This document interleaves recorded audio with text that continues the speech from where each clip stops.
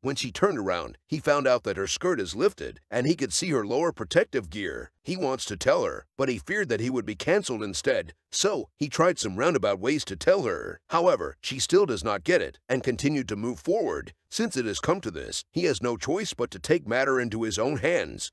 足出してるし下半身気にならないのかなってはあなんなんだ貴島急に下半身下半身って 行かせない。ここにいてもらう。脱いだ。縛るのそのシャツで。私は太ももを触るだけじゃなくて。